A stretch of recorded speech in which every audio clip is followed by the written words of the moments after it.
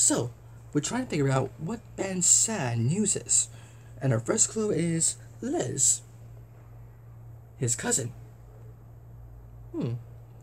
So, what could sad news be with Liz? Hmm. Oh. Do you think something happened to Liz? Oh. Well, you know, I think we need to find two more clues to figure out what the big news is.